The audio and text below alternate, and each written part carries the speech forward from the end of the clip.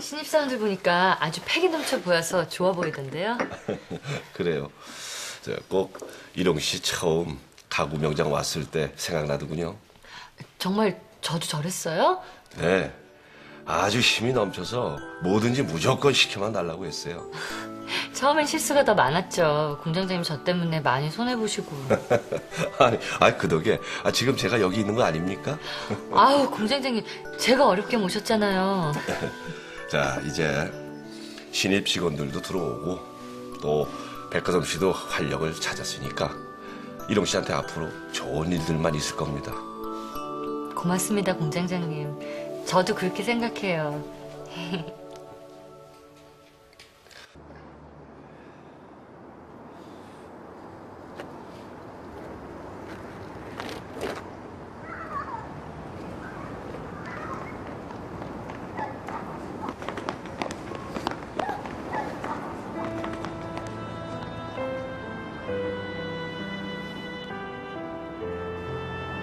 그렇지 진솔아.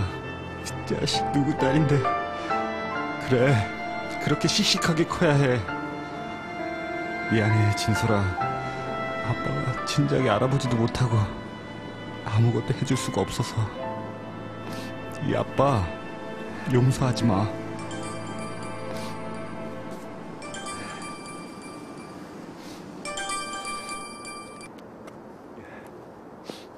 여보세요?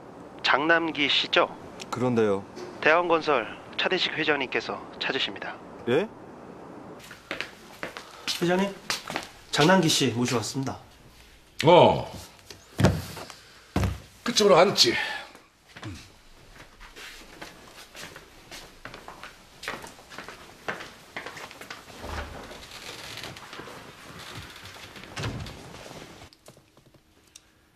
갑자기 보자고 해서 놀랐겠구만. 예 조금 근데 무슨 일로 저를 보자고 하신 겁니까? 이미 알고 있는지 모르겠지만 나 차승표 작은 아버지 되는 사람이지. 어제 우리 승표 회사에 갔다가 우연히 자네랑 우리 승표가 만나는 걸 봤네. 그 사내가 그렇게 남의 돈을 뜯어서 살아서야 되겠나? 자네 백일영 씨애 아버지라면서 단도직입적으로 말하겠네. 나는 백일영 씨를 우리 집에 들일 생각이 없어. 승표 우리 집의 장손이라 이 대왕의 후계자가 돼야 하는데 애 아버지가 버젓이 있는 여자와 혼인시킬 수 없지 않겠나? 네, 자네한테 한 가지 제안을 하지. 이러면 어떻겠나? 백일영 씨를 책임진다면 내가 자네 뒤를 봐주겠네. 무슨 말씀이신지 잘 자식까지 있는데 자네도 언제까지 그러고 살 수 없는 일 아니겠어?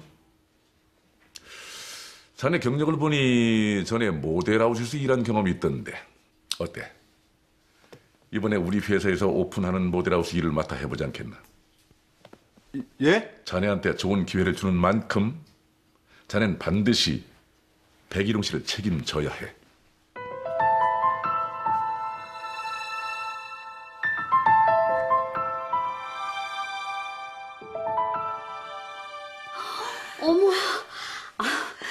회장님께서 그렇게까지 해주실 줄은 꿈에도 생각 못했네. 언니 덕에 내가 한시름 놓게 생겼어. 백일원 그 여자만 우리 승피한테 떼내주면 다행이지 뭐.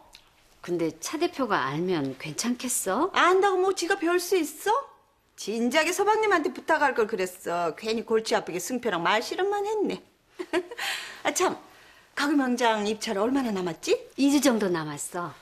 그럼 우린 천천히 애들 식장이랑 예물 알아봐 놓자. 솔직히 우리 집에선 좀 걱정이 많아. 지난번 약혼식 때처럼 혹시라도 차 대표가 걱정 마. 애 아빠가 나서서 버티는데 승표 지가 어떻게 계속 그 여자랑 살겠다고 하겠어. 우리 승표 병적으로 깔끔한 성격 알잖아. 저러는 거 얼마 못 가.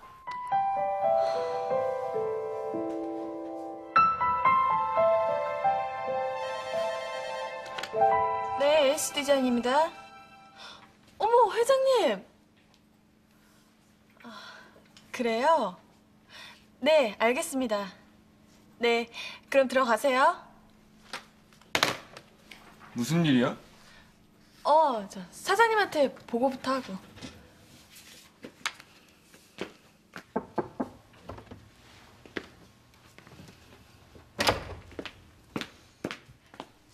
저 사장님, 대한건설 모델하우스 총괄팀장이 갑자기 바뀌었다고 그러네요.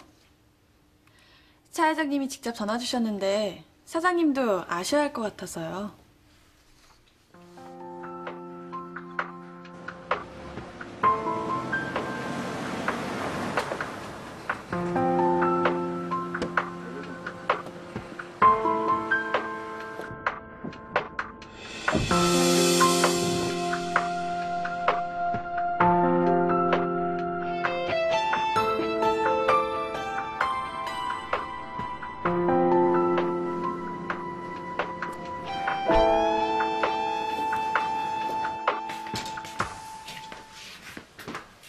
백 사장님.